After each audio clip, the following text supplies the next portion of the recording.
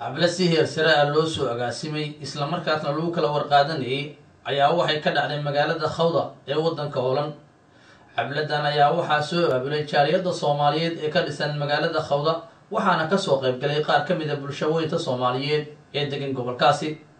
Ujeedada xafladan ayaa ahayd in lagu kala warqaato islamarkaasna lagu xuso maalinta barakaysneed ee ciidul adxada xafladan ayaa waxaa sidoo kale warbixin looga dhageystay marwe sahre cabdi xirsi guddoomiye ku-xigeenka ururka wadaniga soomaaliyeed oo dhowaan dalkii gaartay gaar ahaan magaala madaxdeena muqdisho.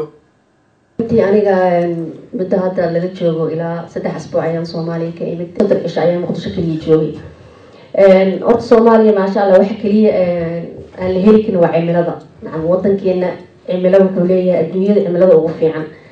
Sanadka oo dhan ay samar nolosha dhanba qoraxda weeyaan horta intaasoo ku soo jeclaadana waxaan ku soo arkay dadka inay rabaan nabadda inay dadkii hadda is aruursanooyaan laisjeclaanooyo nacam waa ka go-an tahay inay nabad helaan. Dadka waxay hadda u kufaaxo u halgamooyaan waa inay nabad helaan.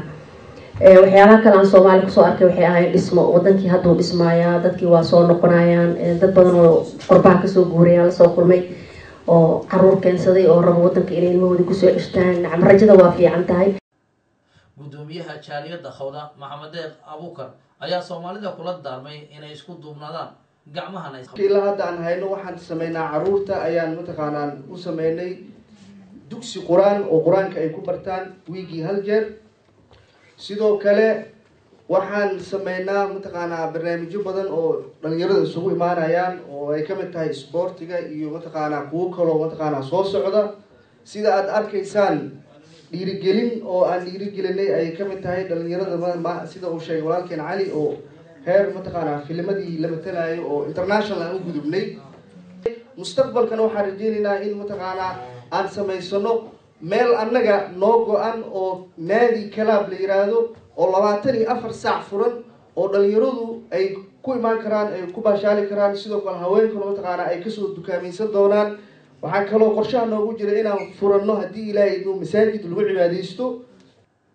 Dhammaan dadkii ka soo qayb galay oo wejiyadooda laga dareemayay farxad iyo reynreyn ayaa waxaa hadaladoodii ka mid ahaa dhiirigelinayaa oo jaaliyadda khawd ugu dhiirigelinayaa in la sameeyo waxyaaba la yihahdo waxqabadka oo kale markii ay jiraan wixii dhibaato ah ama waddankaa ka jirto ama waddanka aynu joogan hadda kale dad sharci la'aan jiro maalinba ee ku mudaharaado banaanada isugu yimaada waa wax wanaagsan in la isku yimaado dadkii dhibaataysan inaan xusuusano oo aynu xusno oo aanu wax u qabano wixii annaga awoodeenna.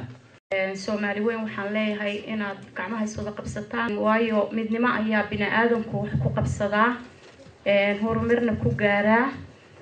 Intii magaalo wada degan ama gobol wada degan ama qurbahaba wada degan waxaa wanaagsan dadku inay midnimadooda iyo soomaalinimada ay unit noqdaan. Sababtaan iskugu imaan waxay ahayd munaasabada ciidul adxada inaan maaragtay u dabaaldegno waqtiga nama siin oo nooma saamixin maalinteeda inaan sameyno laakiin wax culeys kuma sugno maanta ay ka tarjumi doonto. Waxaan kaloo halkaan ka salaamaya caruurtayda iyo hooyadood وعملكم سلام. كدري أولاد افتح. إدمان هي أوروبا إيه، أو إيوز إيه، إدري. فلم أوروبا إسمه شيء إدمان أتيا شيء هذا شيء هذا مسوي كوي برم. وحن كلارك إسلام يا تي في خلف شغال أوراق هذا خاطرو هكو شخير نبكس إسومرين إيه، يبدأ بينا سومريا ودون حس شيء مسلم هذا هو فرح سنة هي مناسبة عيد الأضحى. إدمان من سومريا المكس الجوان الله عيد الأضحى familkeyga oo dhan.